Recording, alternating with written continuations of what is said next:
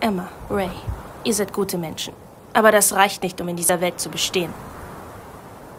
Ich hatte damals einfach keine andere Wahl. Nur weil ich die Auslieferung wählte, ist euch die Flucht geglückt.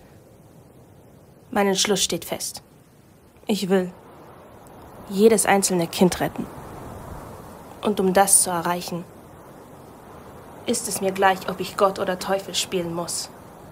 Emma.